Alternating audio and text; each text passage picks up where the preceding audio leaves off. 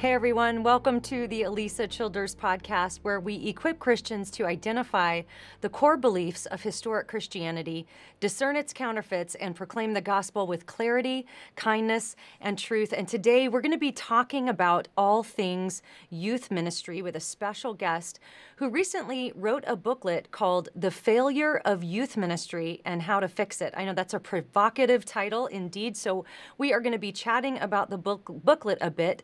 And then then we're going to be opening it up for questions that we will take live. Our hope and prayer for this broadcast today is to encourage youth leaders, not to bash youth ministry and youth leaders, but rather to equip you, to encourage you, and maybe provide a really clarifying path forward uh, to maybe not repeat some mistakes that have been made in church past, but to give us a good, strong way forward.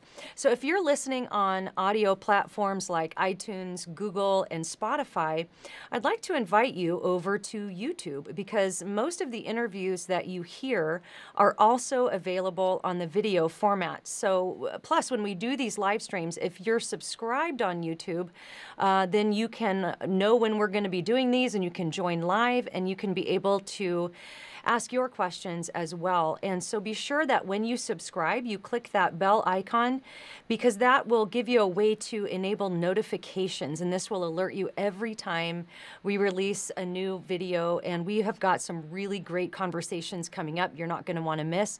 Next week, we're going to be talking with Dr. H.C. Felder, who wrote the book, The African American Guide to the Bible. This is one of the interviews that we pre recorded from the Southern Evangelical Seminary's National National Apologetics Conference. And so with Dr. Felder, we discuss questions like Is Christianity the white man's religion?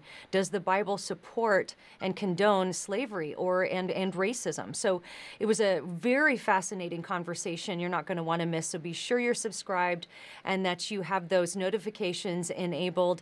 I uh, want to talk to you a bit about some things we have coming up this summer. This summer, is crazy busy. We have got a lot going on. If you are in, I'm going to say this wrong, Puyallup, Washington, if you're in that area, I'm going to be at the Lighthouse Christian Center for their women's conference there on June 17th through the 18th. You can go to lighthousehome.org slash women for more information there. I'm also going to be in California a couple times here coming up. Uh, August 12th and 13th, I'll be at the Wildwood Calvary Chapel in Yucaipa, California for their women's conference. If you are in that area and you'd like more information, you can go to Wild wildwoodcalvarychapel.com. And then August 20th, I'll be back in California in San Jose at Hillside Church for their women's conference. More information there, you can go to hillside.org. All right. So I am very excited about this conversation today. I want to let you know right off the bat, we will be taking your questions live. You can put those questions in at any time. What we'll do is when we come to our question portion of the interview, I will just go to the beginning and we'll start from the beginning of the questions and go through. So if you think you've got a question, put it in now because uh, I'm not sure we'll even be able to get through all of them, but we will certainly try. So I want to uh, introduce you to my guest. He's been on the podcast podcast before to talk about his book, Unlikely Fighter.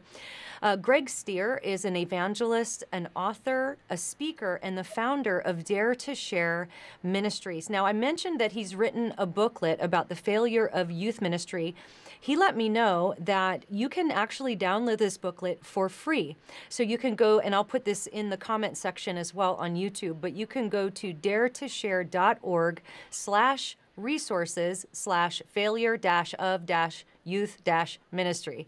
Okay, so you can download that for free. We'll also put a link to that in the podcast notes. But Greg, so glad to have you on the show today. Thanks for coming back on. Thanks, Alisa. Really excited to have this conversation with you. Me too. And I'd love for you to give us a little bit of context. First, tell us about your ministry. You, you, told us a little bit about it last time, but for anybody who's new to you and what you do, tell us a little bit about that. And then maybe what led you to write a, a booklet that's really got quite a provocative title The Failure of Youth Ministry and What We Can Do About It. Or how we can fix it. What is it? I, I had it up there. And how to fix it. Yeah. How to fix and it, it right yeah, so you know, my family was actually radically transformed by a youth ministry that was on fire for Christ. So, right up front, I just got to say, I love youth ministry done right. Um, and I believe in it. My my inner city family, a hillbilly preacher who believed in the power of the gospel and the potential of young people, reached every single one of my family members with the gospel. I got involved in his youth ministry early on. And uh, when I left, I uh, planted a church. Uh, we had a strong youth ministry there. Uh, in 1999, I was running Dare to Share and the church at the same time, pastoring and leading Dare to Share. And then the Columbine High School shooting took place. And my heart broke because I thought, where were all the Christian kids to reach out uh, to the shooters? And just felt compelled uh, to go full time into Dare to Share. So resigned from the church. And for 30 years, I've been um, leading Dare to Share. We started in 1991, and um, I, I believe in the power of the gospel, the potential of young people, but at the same time, uh, just taking a sober look at youth ministry, Lisa, it's failed. Mm. Uh, we're stuck in the 80s mm. with our model. Uh, you know, if if you read the Pinetops Foundation report, The Great Opportunity, we're losing a million evangelical teenagers per year. They're not just leaving the church, they're leaving their faith. Mm. So uh, we need to educate them, ground them in sound theology. I know you didn't ask me to do this, but that's that's a reason I love your book, Another Gospel. Oh. Seriously, uh, I encourage youth leaders to read that book because mm. I really believe progressive Christianity has been uh, a cancer uh, on on the body of Christ and really causing a lot of students to doubt their faith. Um, but that's not the only reason teens are leaving their faith. I think we have we've tried to entertain them, mm. uh, and we're just losing them. I mean, they have more fun on their phones than they do a youth group meeting anymore. Yeah, uh, they find community there as well. So we're we're stuck in the '80s with you know uh, pizza and dodgeball and a short Bible lesson. It's not mm. enough. Um, yeah. At the well, same time, believe in youth ministry. You know? Right, right, and and and same here. In fact, I was talking with a teenager this morning and this is a, a, teen that is very serious about Christianity. She loves Jesus. She's very serious about the Bible and becoming biblically literate and studying and just very committed uh, young person. And she said that it's been very difficult for her as she's gone around and tried different youth groups uh, in in the area, and it she said every place I go, I'm the only person who shows up with a Bible the lesson is really short and it's not very deep and, and it's not even really teaching typically. It's just sort of like everybody kind of just sits around and talks about a couple things. And so she was expressing frustration as a as someone who's serious about her faith that it's very difficult to find a place where she can be discipled by youth leaders. And so um, you, you talk about this in the opening of your booklet about two brutal realities, one of which you just expressed. Christian young people are leaving the church in record numbers. Um, I think there are lots of reasons for that. Um, but number two, you said few of the current youth ministry models are effectively reaching and retaining Gen Z. And so I thought maybe we could talk, obviously, when we talk about youth ministry, we're talking about the first generation who are, as you mentioned with the phones, digital natives. Like, like you and me, Greg, we had to learn how to communicate online.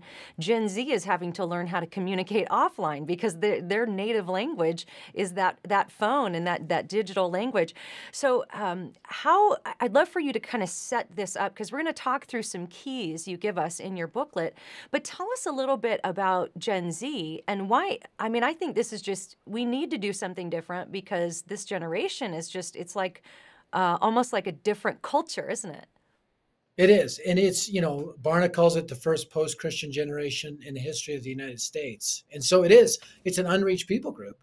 So how are we going to reach them? How are we going to mobilize them? And the good news is, and I'm a good news guy. Matter of fact, it was hard for me to come up with that title, "The Failure of Youth Ministry," because I absolutely love youth ministry. I love youth leaders, and I love teenagers.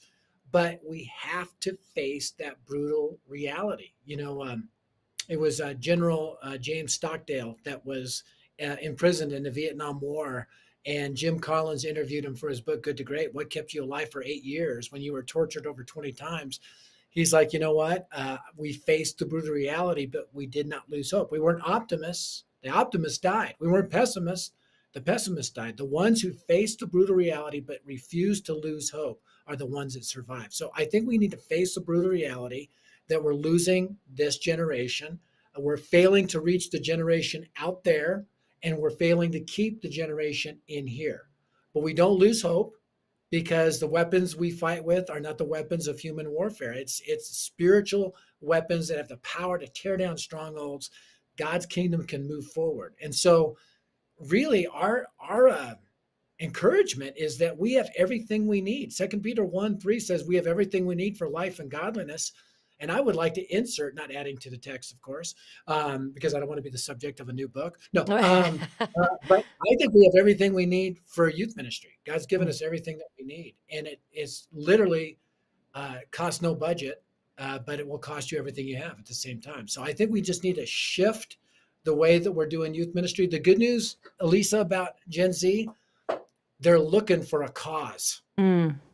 They're looking for a mission. I mean, you if you look at uh, uh, teenagers, you know, it, stopping human trafficking or uh, eliminating uh, poverty, uh, they're looking for something uh, to to take care of the earth. You know, creation care, environmentalism, something. And so I think we need to recalibrate this whole Christianity as as a great big cause mm-hmm. that Jesus has given us to go and make disciples of all nations. That's great. We're going to talk through five keys uh, that you present as ways we can maybe fix what's gone wrong. I remember, uh, Greg, I worked at Starbucks back in, no, gosh, it was before I moved to Nashville. So this would have been somewhere around 98, 99.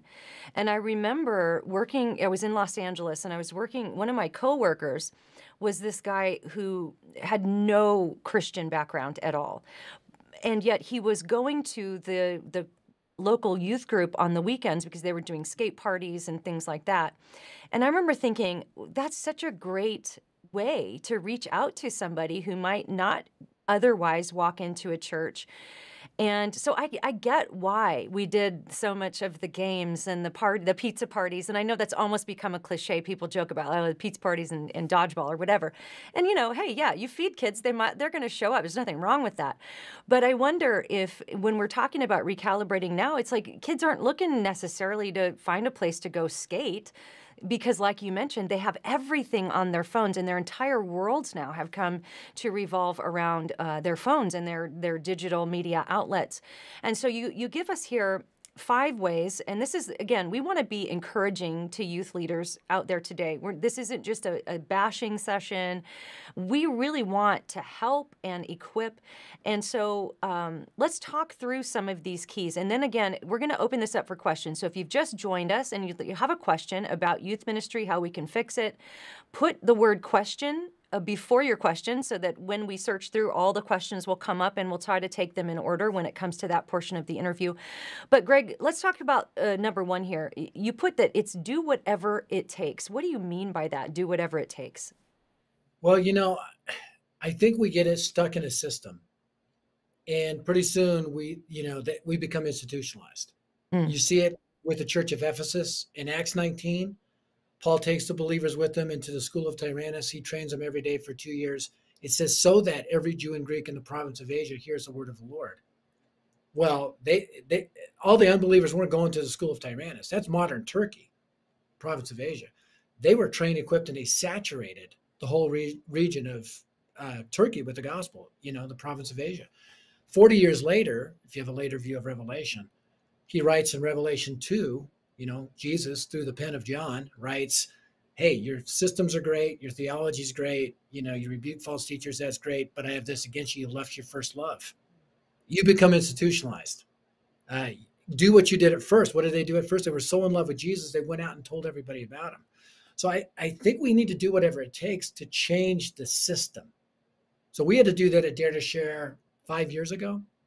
Our vision is every teen everywhere here in the gospel from a friend. We are doing these major conferences all over the United States, big conferences and big arenas and large churches.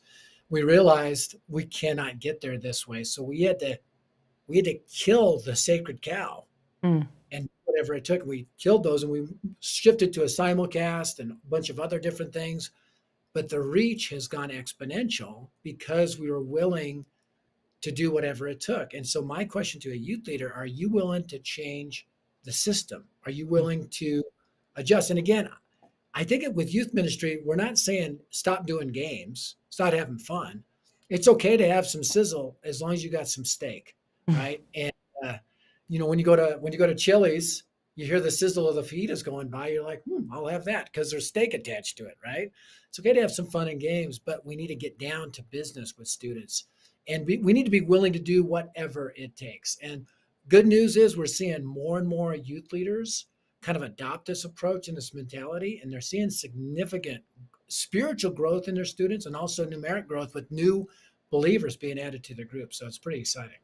So I think about probably the tension that a lot of youth leaders might find themselves in, where they're thinking, well, if I go too deep into theology or apologetics, I'm going to lose kids. So maybe I'll yeah. just keep it lighter. I, will I'll, you know, you know, just give them a little taste. And I certainly understand the impetus there. But then I saw a meme this week, and it really was powerful. It was saying, the kids that you think can handle you know, a, a, theology lesson are the same ones learning physics and calculus in school. You know, they're it's they're not stupid, and I I get that there's a tension there, but I wonder if you could speak to that as well because, I mean, I have some thoughts on it, but I, as an experienced youth leader yourself.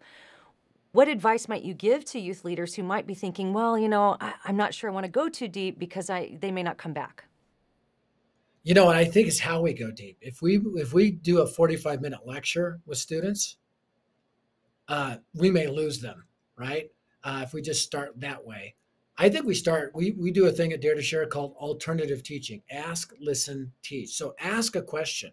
Hey, tell us what you think about the whole LGBTQ plus sin, not a sin, you know, and just ask the question and let students answer and wait through the awkward. We, we have a saying at Dare to Share awkward is awesome. So just wait through the awkward because one student will share, then another, then another. And I guarantee you, you're going to kick over the bucket with a question like that. And mm-hmm. it's going to be, but then you pick up the mop of God's word and you start dealing with that. You know, talk about a theological issue, you know, who is God? And ask the question, listen, and then teach. And if you don't, one of the reasons youth leaders don't do it this way is because they're afraid students are going to ask them a question they don't mm. have the mm. answer. But one of the best things you can do as a youth leader and say, that is a great question. I've not through that, thought through that. I'm going to think through it this week. I'm going to study. I'm going to come back next week with an answer and let's have that. Let's continue the conversation. Thank yes. you for stumping. Yes. And you learn it. Kids see, oh my goodness, they don't, you know, they're learning too. You know, yes. the one rule, the one rule is that this book is is the authority, the word of God, right? And this is this is where we take our cues from. And so, you know, I think actually students are hungry. I, I was speaking on one time on hell. I do a dramatic presentation about it's called Letters from Hell. What if you had a letter that from hell from a friend that you that died without Christ and you never told them what would they say? But then I attached some theology around the reality of hell according to scripture. And this girl came up to me, I'll never forget it after a Dare to Share event. She goes, Why has my youth leader never talked to me about hell? I did not realize mm. my friends are going to die and go to hell if they don't put their faith in Christ. Nobody ever told me that. Why? I go, I don't, I don't know. You have to ask your youth leader that. I really find, Alisa, that teenagers are hungry for theology, but you mm. got to make it. Sorry, could re- you say that again? Oh, that was. Uh, Siri thought you were talking to her. Siri's hungry for theology. I, I know. Yeah, she wants to know. Um, but I think they're hungry for it. I think we got to communicate it in a way, though, that is relevant for students. And I think what you're describing is really just creating a felt need. And I learned this lesson the hard way when I started teaching apologetics to young people and to students. I think the first time I did it, I just opened up my notes and started talking, and it was like snooze, right? But then I watched uh, uh like our friend Sean McDowell and and Brett Kunkle do atheist role plays with young people where they they come in and they kind of play the atheist and then they let the Christian kids try to defend what they believe and then they dismantle basically what they believe which gets the kids to go okay now I need to know how to how to answer this because I thought I knew what I was talking about and when I did that I discovered that they brought their friends the next week and it just created a great felt need and I have found that kids will really sit and listen and be eager to learn if they can understand why it's relevant to them, why it's something that matters to them. Totally. So years ago, we did a reality series at Dare to Share. We took a Mormon, a Muslim, a Buddhist, a Jew. Sounds like a setup to a joke. It does. and we met a priest. No, we went to Maui for eight days and had a beach house, and we filmed a reality series and had discussions. Questions like, "Who is God? Is there a God? You know, why are we here? Um, you know, was Jesus who he claimed to be? Um, what do you think about the Bible? Wait, all these questions. You know, what happens after you die? And what we found is uh, it became nine 30 minute episodes that youth groups would show they would invite their friends to have these deep discussions around these videos that spark that question. And then the youth leader would share from god's word how, how it applied. So it is so important. I, I do think not to one up sean mcdowell and brent because those guys are way smarter than me but i would say this there's there's an even better way to do that. And for 30 years at dare to share we train students and we take all of them out mm. thousands at the same time to share the gospel and we have them connect with their friends online, but also talk to strangers. They come back full of excitement and full of questions and hungry to learn more uh, because they, they want to know what they believe and why they believe. And what a role play can't do is put you in that absolute moment of full dependence on the Holy Spirit to help you in that moment of questioning when you're talking to an atheist or Jehovah's Witness or Wiccan or Scientologist or whatever. Yeah, and this actually leads us right into the second key to help sort of fix what's broken in youth ministry. And we're going to talk about that in just a second. But if you're just joining us, we're talking about the failure of youth, youth ministry and how to fix it. If you have a question, we're going to be going to your questions live. Put the word question before your question so that all the questions will come up in a row and we won't have to wade through all of the chat. But please take this opportunity to ask your questions about if you're a youth leader or if you have a, a student in your life and you have a question or, or something you'd like to know, please put your your questions in there now, and we'll start going through them in just a moment. But the second key, Greg, in your booklet about how to fix what's wrong with youth ministry is pray like never before. I don't. I mean, it seems like such an obvious thing, but sometimes I think we maybe underestimate the value of prayer and and depending on the Holy Spirit, as you mentioned. Yeah, and I and I think for youth that this, you know, obviously with teenagers sharing the gospel, anybody sharing the gospel, prayer is going to be a huge key to that. And uh, but I think really praying for our students and really praying for revival and transformation. You know, when Paul writes to Timothy about how to really program the church at Ephesus, in 1 Timothy 2, he says, first of all, he doesn't say, first of all, exegete the word. First of all, uh, you know, figure out your music. He says, first of all, prayers, thanksgivings, intercessions be made for everyone. Because God, kings and authorities and everyone, God wants everyone to be saved and come to a knowledge of the truth he's basically saying the very first priority in your church services has got to be intercessory prayer for the lost. Mm. Now, you think about that. We spend more time in announcements than intercessory prayer for the lost and wonder why we don't experience revival. I have a friend who's a Navy SEAL. Uh, he's he's uh, name is Todd Peters. He's one of the campus pastors at McLean Bible he became the youth pastor after retiring as a Navy SEAL. He goes, "How do I do? Um, how do I build an effective youth ministry?" So I had written a book called "Gospelize Your Youth Ministry." The seven values. The first value was intercessory prayer fuels it. He began to implement that with 500 teens. They get that when they started youth group after the games. Okay, we're going to start. Hit your knees. They literally hit their knees and prayed for their lost friends to start every youth group meeting. Uh, I mean, you talk about implementing that as a primary strategy and god caused that youth ministry to grow and to thrive because when we pray we're calling down you know not budget from our treasurer but we're the budget of the trinity is available to us. The entire power of the trinity is available to us ready for us to access through prayer especially when it comes to advancing the kingdom of god forward. So man, I think you got to look at youth leaders listen to this, moms, dads, grandparents, whoever. We have to look at prayer as a primary duty of every Christian. And if you're a youth leader or a pastor, a primary part of your job to spend time praying, you know, for your people, for the lost, for revival, for transformation. So I just think in the American church, we got so many strategies. We got whiteboards, we got, you know, strategy retreats we need to get back to good old fashioned prayer, calling down the power of God, uh, and relentless, like chopping down a tree, Alisa. You know, you don't just hit the tree once and it falls. You got to keep, keep chopping. You keep chopping. It's frequency and intensity. And the same thing with our prayers frequency and intensity until God yields timber and we experience that revival in our youth ministry. All right, number three is double down on the gospel message. Can you go into some detail on that? When you're talking about fixing what's wrong with youth ministry, what do you mean double down on the gospel message? How can we do that? I think we think we can get beyond the gospel. Like, okay, well, we got the gospel check. Now let's move on to deeper things or move on to more fun things or whatever it is in that youth ministry model. I think we need to bring every sermon, every talk back to the gospel of Christ. We need to give a, the gospel every time there's a group of teenagers that gather. We need to give them opportunities to respond. We need to uh, not just uh, have a come and see mentality, come and see where you can come and hear the gospel, right? But also go and rescue. That means we got to mobilize our students uh, for the gospel. And I think we got to put the gospel. What did Paul say to the Corinthians? And the, if there was one church that represents the church in America, it's the Church of Corinth.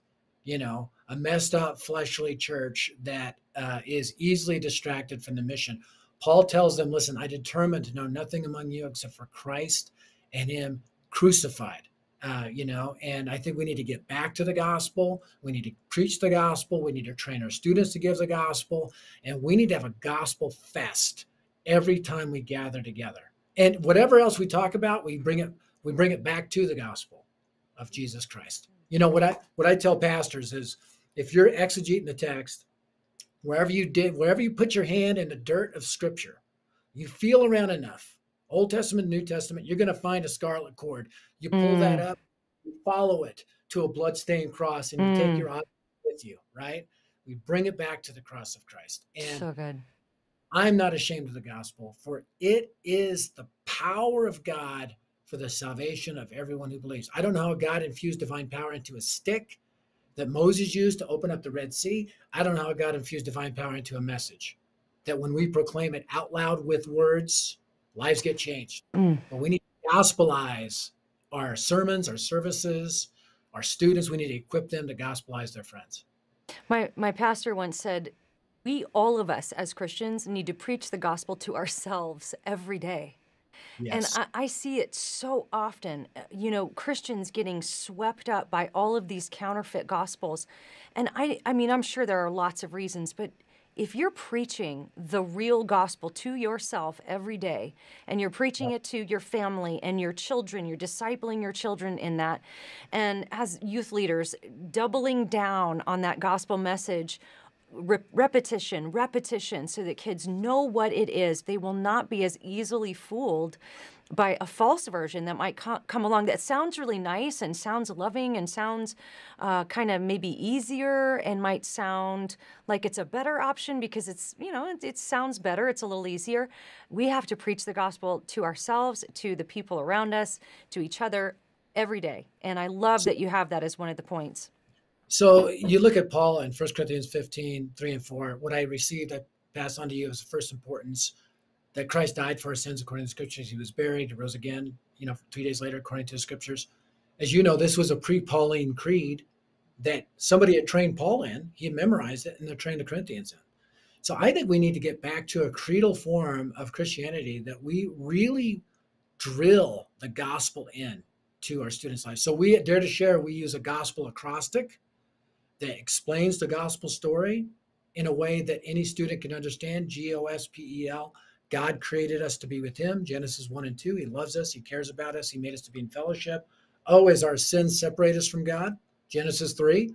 You know, Adam and Eve are kicked out of the garden, are evicted from God's holy presence and can't get back in, right?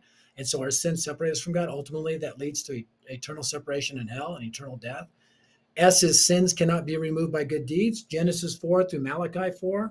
You know, the blood, the sweat, and the tears, the blood of the Old Testament sacrifices, the sweat of trying to obey the 613 commands, the tears of fail, you know, contrition when they fail, could never get rid of that sin. So P, paying the price for sin, Jesus died and rose again. This is when you talk about substitutionary atonement. Jesus paid the price in our place for our sin. Matthew, Mark, and Luke. E is everyone who trusts in him alone has eternal life. It's not trusting Jesus and, it's trusting him alone has eternal life. And that trusting, when you trust in him, that is a repentance. That is mm-hmm. a change of mind, a change of trusting in my own self and it's and it's putting my full faith in Christ alone. And then L, life with Jesus starts now and lasts forever. And that's from Acts to Revelation. So we train students to double down on the gospel by equipping them in the gospel message. And like when we have thousands of kids, we all practice that gospel acrostic until they can say it without looking, because I want them to have that gospel message just seared into mm-hmm. their soul. It's kind of like a catechism, really. It's it's in a way. It, it, it, functions like that.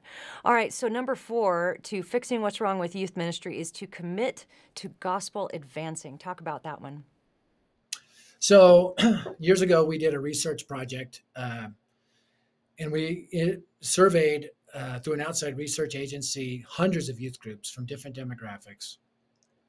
And we discovered that the youth groups that were seeing 25% new conversion growth per year were growing and thriving, had seven key things that defined them. It was interesting to us. They said it in different ways, but they were the same seven things. So we took those seven things. I did a 10 city tour across the nation. I personally interviewed a thousand pastors and youth pastors, ran these seven things by them, got double thumbs up.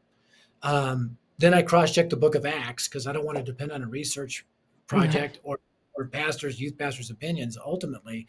And these values are all over the book of Acts and the Gospels. And if you look through my Bible, you'll see value one, value two, value, they're all over the, the New Testament.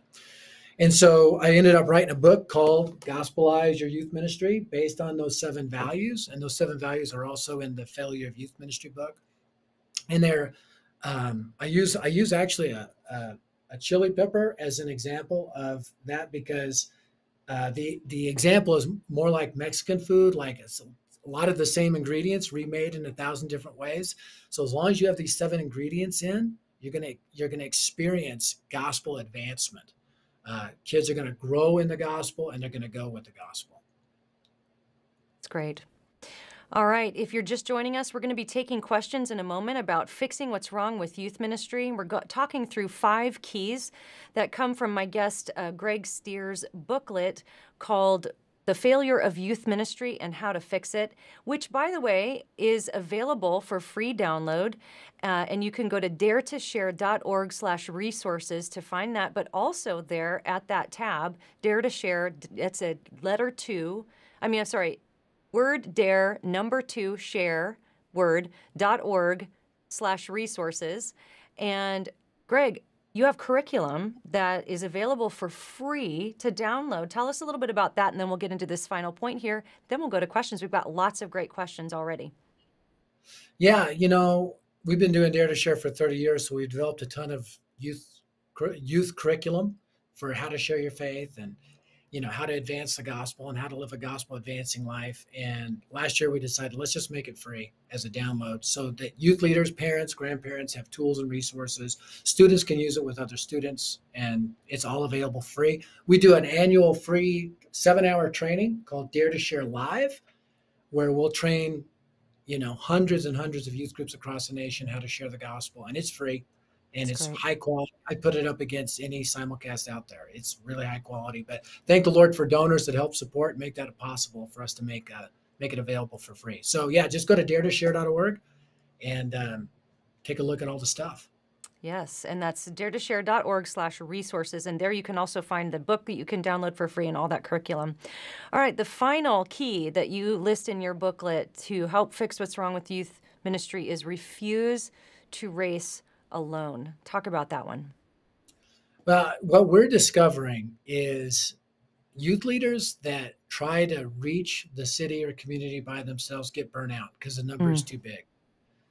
And so we, we really encourage what we call gospel advancing networks of youth leaders who together will tear off a piece of the map and say, we're going to pray for uh, and reach every student in this community with the gospel through another student that we've trained and equipped. And uh, a couple weeks ago, I was in the Coachella Valley and trained 62 pastors, uh, you know, in the seven values of a gospel advancing ministry. And they said, Where do we start? I go, You start by this youth leader network that's here. Let them lead the way. And they I mean they're identifying the number of students in the Coachella Valley and they're mobilizing to reach. I mean, it's awesome to see. We're seeing networks pop up, pop up like that, not just across the nation, but around the world.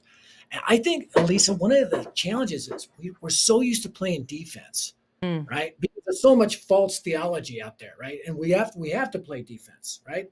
Um, we we have to deal with those things, but I think we got to play offense too. And I think offense is evangelism and making disciples, and I think they work together.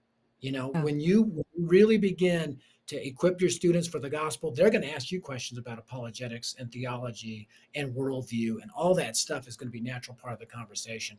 But what gospel advancing is all about is about playing offense together, and so you can't do that alone. Uh, and there's challenges because if a youth leader gets excited about this and goes back, maybe their pastor's not as excited about that. So how do you deal with that? Mm. Right. So we have we have a Facebook community of gospel advancing leaders that kind of brainstorm with each other and pray with each other. How do we do this together? And That's how do great. we encourage? Yeah. Where can youth leaders find that Facebook group? Just uh, go to dare2share.org and there'll be links there, or can you tell us well, how they can find that?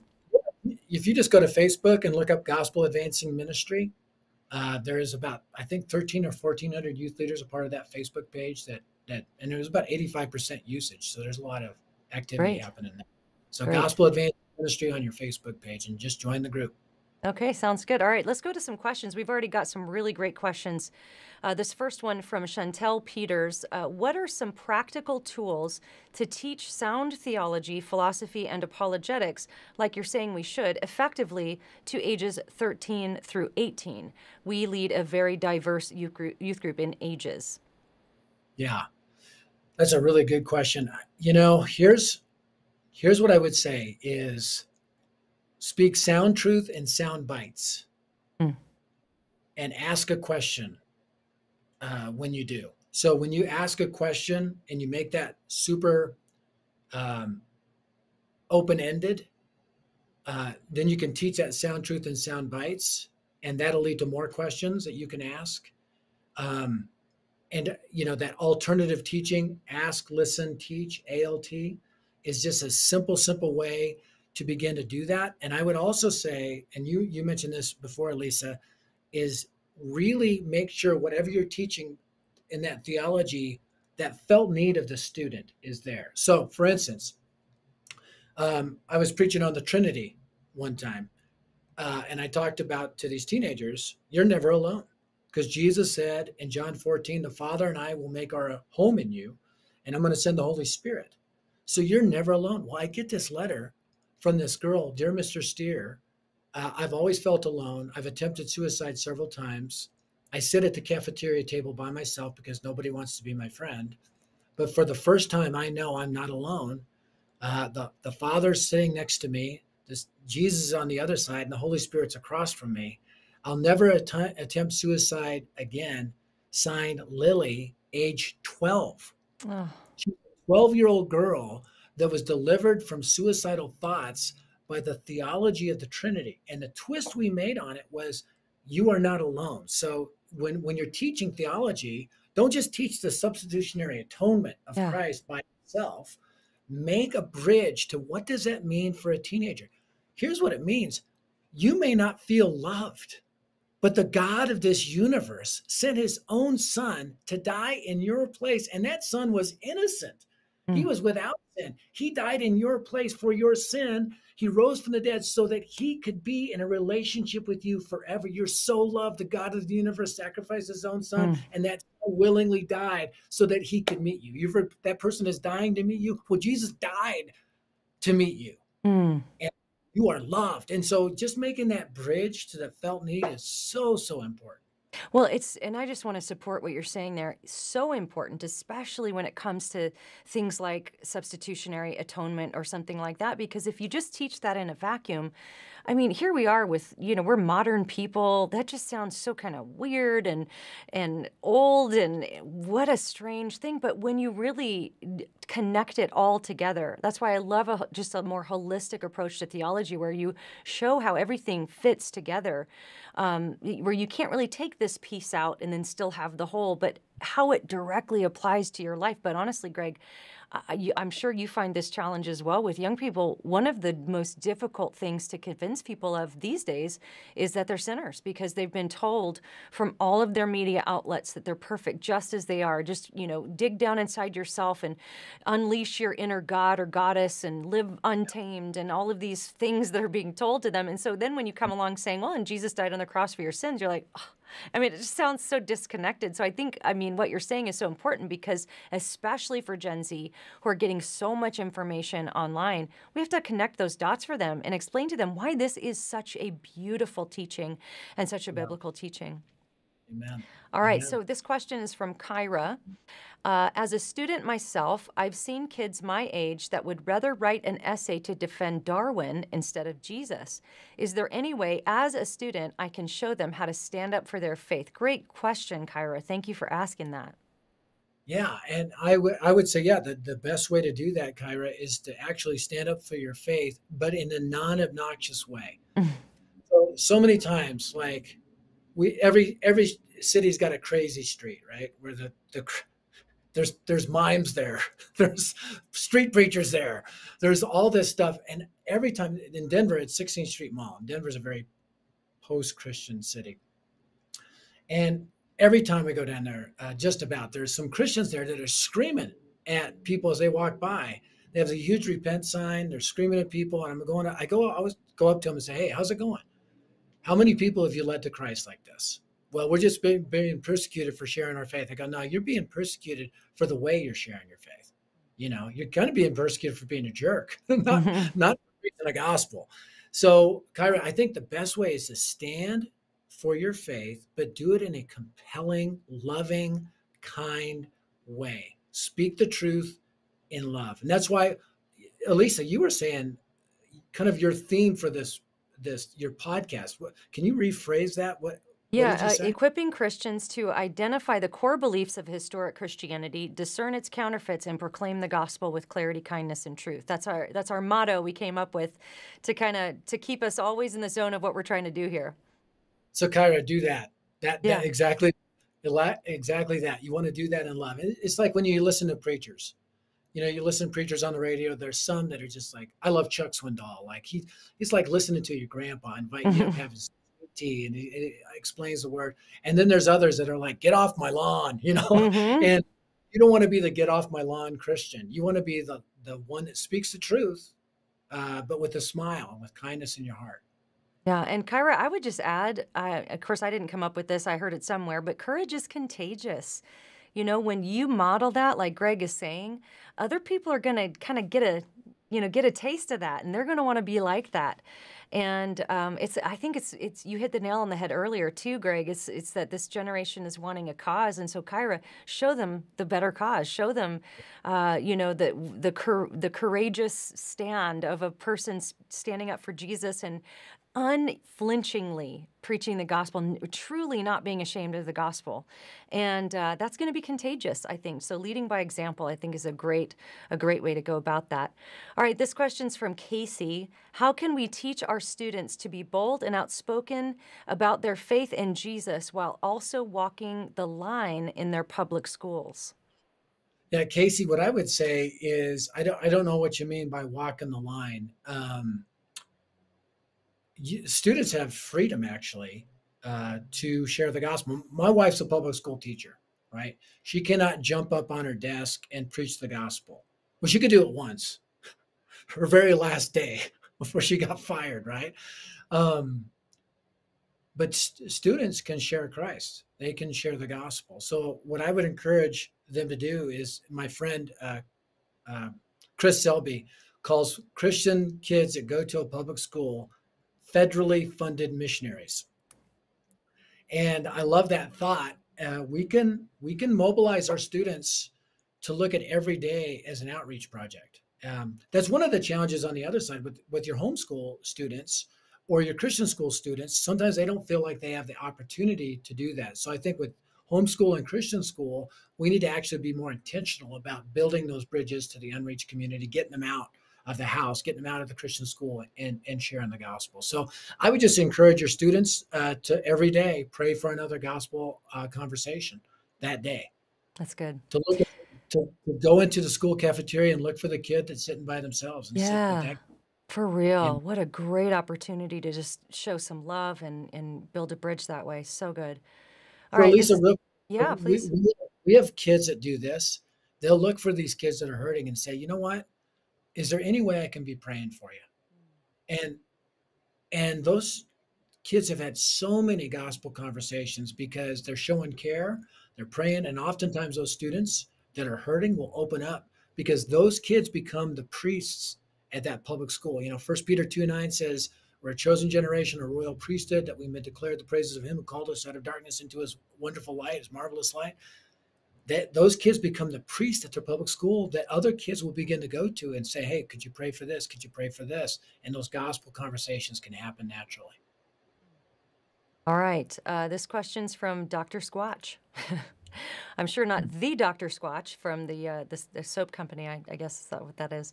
Um, question I'm going to be becoming a small group leader for college students. I'm 24 years old. What should be my top priority? I have no experience as a Bible teacher, but love theology. Yeah, I mean, I think um, you know, just learning how to like take an. I think if I was to start all over and, and didn't have training to be able to do that, I would take one small truth and unpack that and ask a question that would relate to the needs of the audience. And I would also, um, you know, start challenging them to share their faith and come back to every meeting with questions that they have as a result of real life, real life encounters. That's good. All right, Dustin wants to know I'm going into my sophomore year of college for pastoral ministry. I'll be serving in youth group at the church I go to while at college. What should I do as a college student? Well, I mean, I think if you're going uh, as a youth, I'm, I'm guessing the question is as a youth, as a college student, what can you do to really impact these students? I'd really encourage you um, to read that read my book gospelize your youth ministry those seven values will really help you not just as a youth leader with those teenagers, but also as a college student. Uh, what I find is Christian colleges need revival too. Uh, I went to Liberty for a year, and then I finished out at Colorado Christian University. And I was the student that gathered other students together and said, let's go off campus, let's share Christ, let's be, you know, I wanted to bring that because it's so easy. Uh, and we were we were talking about this offline, Lisa. You can take a sponge and pour milk into it, mm. right? and you can have the highest quality milk, but if you don't squeeze that sponge out, it rots. Uh, in college, in Christian schools, uh, in theology class, it's easy just to get the milk of God's word poured into our in our minds, but we need to squeeze that out, and we need to do the same thing with our students, and the same thing with the other college students. Good. All right, this one's from Esmar. Uh, I have a question about icebreakers. Our community uses them sometimes, which are basically games and my question is is this a wise thing to do? Is this a good thing? I guess those kind of like, you know, icebreaker games that people do. I think so. I mean, you know, it kids teenagers are still teenagers at the end of the day, and it's okay to have fun. It's okay to, you know, do some stuff for them to get to know each other. What I found is kids feel a little bit comfortable with each other because they played a game. Uh, they did an icebreaker. They're more likely to open up when the youth leader asks a question about the Bible or theology right? And if you don't do that, they just sometimes feel, um, you know, like they can't say anything. So I think you know we're we're humans too. You know, we kids, teenagers still like to have fun. Again, this is yeah. When I talk about the failure of youth ministry, I don't mean stop having fun, stop laughing. What I find is gospel advancing, disciple multiplying youth ministries have more fun. Yeah. So the youth ministry that reached my whole family, Lisa, we had 800 kids in that youth ministry. There was only 300 adults in the church, and we had fun. Wow. But man, the pastor broke the word open, uh, answered tough questions, would deal with, you know, kind of felt needs, but then he'd always give the gospel. And then we were expected, if we brought somebody, we were expected to follow up with them right after and mm. make sure where it stood. And so it was fun because it wasn't just going to youth group to play a game. We did that, but we were on mission at the same time. So I don't think those things are mutually exclusive. Yeah, I, I think too. I think those icebreakers can be a very effective way to making kids feel more comfortable. Because a lot of times, I mean, that's such an awkward age. It's a tough time. It's a Oh. tough time to be a person. And when you go into and maybe you're new and you go into a new situation, it can be um, inviting and it can actually make you feel less awkward and less uncomfortable if there's an organized something that everybody's sort of focused on. So it's not just like mingling around trying to start conversations with people in the beginning. So I, I think that it's um, it's it's it's probably a good thing. I would want that to happen uh, sure. at a youth group meeting that my kids go to because I want to know that they walk in and they're going to feel comfortable. That there's something that people are focused on, and it's not just going to be like, oh gosh, I hope they find somebody to talk to. You know. So well, I, you know, that's the, that's the great on the on the positive side. Youth ministry, you know, overall as, a, as an institution, it has failed to capture the hearts of our generation and and to keep the students within our groups. But we do have a ton of resources that are very practical and you know uh, easy easily accessible. I got friends that download youth ministry dym they got tons of stuff that's uh, available for youth leaders. Youth specialty has been out there for you know 30 40 50 years or something like that. So there's tons of tools and resources to help on the practical parts of icebreakers and having fun and skits and different things like that Alrighty. Uh, this question is from ES. How do I tell my church slash youth leaders that things need to change in the organization of sermons and the preaching? Yeah. Okay. Be I was a pastor for 10 years. Let me just say this. You don't want to be that person that they cringe at seeing come to them.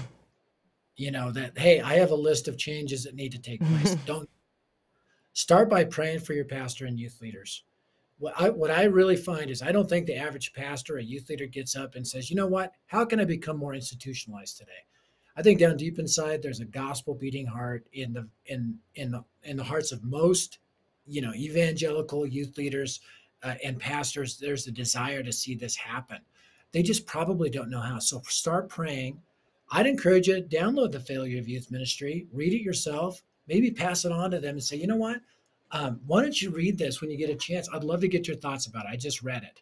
Uh, and it's making me think i'd love to get your thoughts. And come as an encourager with thoughts and ideas and then as you build that relationship you can you can lean into that more and more.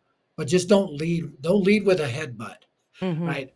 Uh, lead lead with a smile and a prayer I agree, especially when it comes to something like the organization of sermons and preaching and things like that. If there's something that's been taught that is uh, a, a false gospel or there's some sort of false teaching, that's probably a different category, different question. At that point, my advice would be you know, you need to have a sit down with the pastor, but respectfully, lovingly, sharing your concerns, but also being equipped with information so you're not just sort of shooting arrows, but try to sort of build that bridge and say, look, these are some things that the kids are saying they've been taught. Hey, can we have a, a discussion about this? That that would be maybe different. But as far as organization and things like that, um, I think you know Greg's right on the money there. First, start by praying, praying for them, and trying to come alongside and being a help in that way. Uh, next question is from Dr. Leslie Jacoby. Can you speak to elementary kids? Our church uses the Gospel Project. Do you find this curriculum to lay good groundwork for teen youth ministry? I don't know. I'm, I'm sure you you prefer your curriculum, but are you familiar with Gospel Project? I'm not really. somewhat i'm somewhat familiar because um, we have a lot of youth leaders that use it i've heard good things about uh, about that curriculum i cannot speak personally definitively but people i trust uh, speak speak well about the gospel project so um, the fact that they have gospel in their title is a good is a good sign and again the challenge i think with all these curriculums is going to be it's the challenge of becoming gospel centered and I, I want to be careful when I say we can become gospel centered, which just sounds like a bunch of people sitting in a half circle watching Matt Chandler videos, right? And I'm pro Matt Chandler. But I'm like, put them on your podcast and let's be gospel advancing. Um, and let's advance the gospel, not just, we don't want to just exegete it, we want to execute it as well. And so, whatever curriculum you're using, make sure, uh, you know, I wouldn't give the keys. So, if I have a I have a 17 year old daughter, right? And if some strange guy came up to me and said, "I'd like to ask your daughter out," I'm like, no, we need to get to know each other a little bit first, maybe for several years, and then we'll see. Um, I'm not going to give the keys of my kid's mind to some curriculum writer that I've not vetted. And so, what I really encourage youth leaders is go over the curriculum, make sure you agree, make adjustments as you need to. You probably need to add in a gospel advancing factor somewhere in there because a lot of times there's not an evangelist evangelistic outreach emphasis in a lot of curriculums that I've discovered and modify that to make it make it fit because you're responsible as that leader of what your students take in. Don't just give the keys of of their minds to a curriculum writer you don't necessarily know or haven't vetted. Yeah, that's very wise advice. And uh, we're about, gosh, we're about out of our time here, but I want to close with a question that I personally have, one that I've been thinking through, and I'd love to get your thoughts, Greg, mm. as you've maybe pondered a similar question. I remember once hearing J. Warner Wallace talk about the youth exodus, what we refer to as the youth exodus, which is this uh, sort of epidemic of kids leaving the church after high school. And he said something that I thought was very thought provoking. He said, They're leaving us because they were never with us. That's a paraphrase. I can't remember exactly how he worded it. And his point was, that so often the way that youth ministry and even children's ministry is structured, you send the kids off to this other place, and then all of a sudden they graduate high school, and then they're supposed to go into, you know, maybe what they call big church for the first time, they've never even really been to big church before. And it's almost like asking them to take a leap into an entirely different culture that they've never been a part of. And so I think swirling around this question as well is the topic of interge- an intergenerational approach. I mean, you're not a t- you're not a teenager, Greg. You know, you're you're you're beyond those years. You're somebody who's coming from more of a fatherly perspective. What are your thoughts on that? Just the maybe the intergenerational approach. What what does that have to do with it? And maybe what what advice would you give to youth leaders about integrating their students into the main uh, the main service of the church? Or uh, you know, how would you approach that question?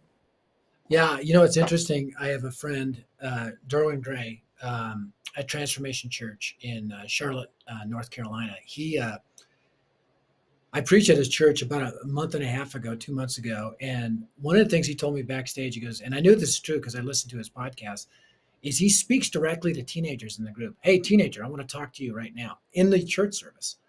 Uh, by even just doing that, he's including them as as part of it. So I really do think it's important. If you look in Titus 2, older older men invest in younger men, older women invest in younger women. Uh, that doesn't mean we can't have youth group or a youth meeting, but that means that I think our students need to be used to going to church and they need to be used to being a part of it. And I think it's more than a youth Sunday. You know, I got to preach in big church when I was 12 years old. And it wasn't because I was a good preacher. I was a terrified little kid that had a you know seven minute sermon that that you know, but the pastor believed that teenagers needed to exercise their spiritual gift. I wasn't the only one. I mean, he he'd infuse us as part of the service. He equip us and train us and mobilize us. So I really do think we need an intergenerational approach. That's that's really what we see in scripture. Yeah, very good. All right. Well, Greg, let everybody know where they can find you online. Of course, we've already mentioned uh, daretoshare.org slash resources. You can download the book. You can download a, lot of free curriculum. What else you, do you have going on, Greg? Uh, well, I have a blog, uh, gregstier.org, and it's S T I E R. So gregstier.org. And you can follow me on Instagram or Twitter, uh, just at Greg Stier, S T I E R. And Great. Uh, Yep, I'd love to. I've written like 20 something books uh, that deal with youth ministry and teenagers. Uh, I have books, uh, to teenagers. Uh, we have books for youth leaders, and we have uh, Unlikely Fighter, which is my, my memoir of my crazy, crazy family and their radical transformation. So, yeah, just Stier. All right. Well, I want to thank my guest, Greg Stier. And you can go back in the archives and hear my interview with Greg about his book, Unlikely Fighter, where he shares his testimony of coming to faith in Christ. If you're listening on audio platforms like Google, Spotify, uh, be sure you go over there and leave a five star review. If you're watching on YouTube, click subscribe. Be sure you click on that bell icon to be notified every time we release a new video because we have some really, really great conversations coming up. But for now, thank you so much for watching today. Happy Sunday, and we'll talk to you next time.